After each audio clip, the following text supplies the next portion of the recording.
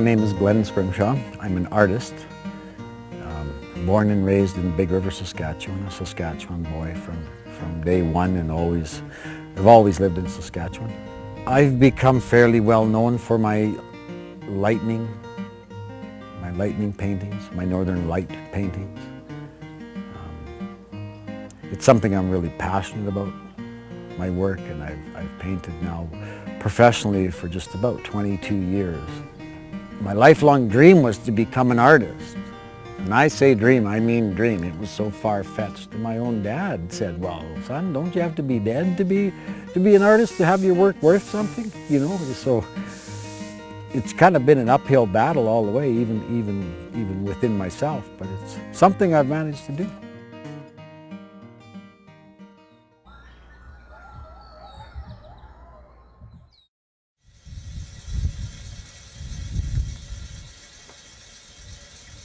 Have lots of fond memories growing up, growing up and drawing. Drawing was always at the center of it. I would draw pictures while sitting watching TV in the evening with family. My mom says when Glen was old enough to hold a pencil, he started sketching. I got my first oil painting set when I was 12. And I I remember the first picture I ever painted was a bowl of fruit, and it was the best picture anyone ever painted in the whole wide world. I wish I could find it, you know.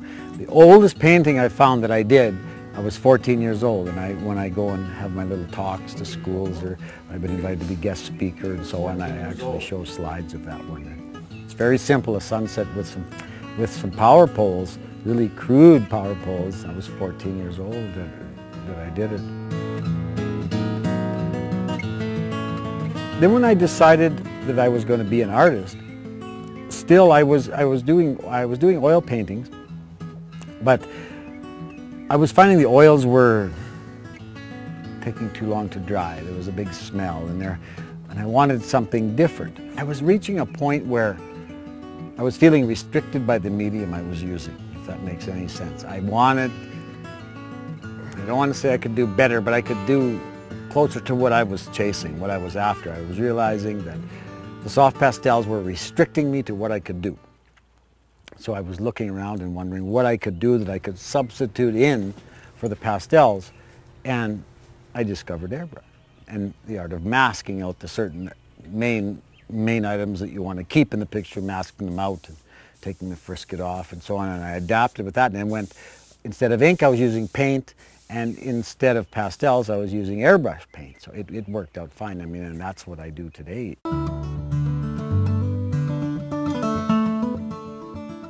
I look at pictures.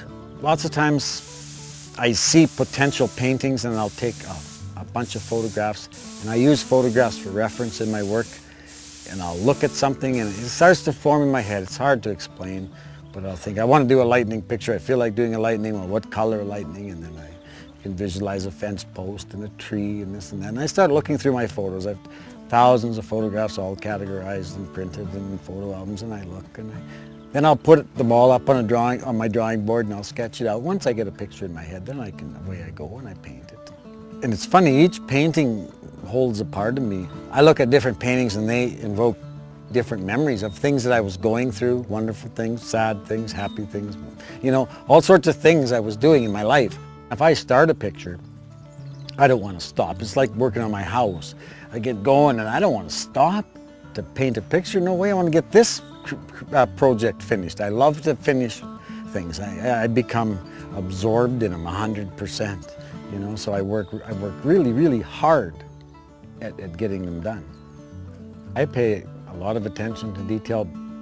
Number one, because it's inside me and I can't paint. I've tried to paint. I've, I've often joked that when I get my new studio built out here, I'm going to try paint a picture and, you know, give myself a four-inch brush, and that's the smallest brush I'm going to be able to use.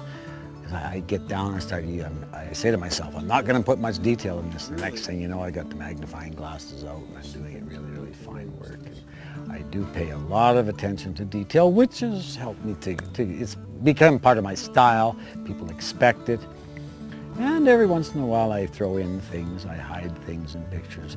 And, you know, there's a lot of things, there's quite a few pictures, there's things hidden in them that I don't even talk about because they're private things that I it's my way of kind of recording something that's maybe very special to me or whatever. I'll do, I'll do something in a picture where nobody knows but me.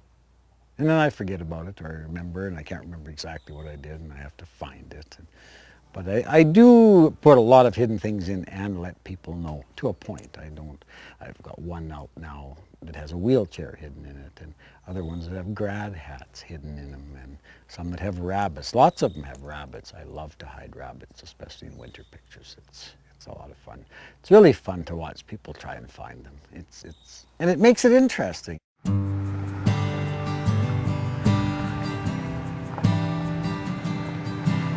Well, I did a mural for Duck Lake, and at the time when I was doing the mural for them, Lawrence Laniva was the mayor, and he said to me, you wouldn't inter be interested in moving your gallery down here, would you? And I was from living in La Ronge, had a small gallery there, and no.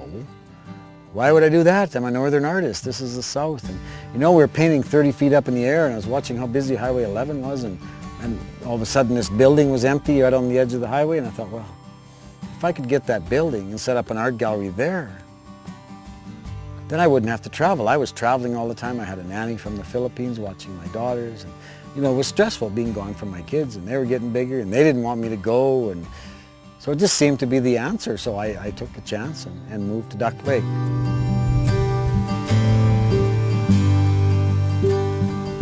Being a single dad raising three girls was trying, I'll tell you.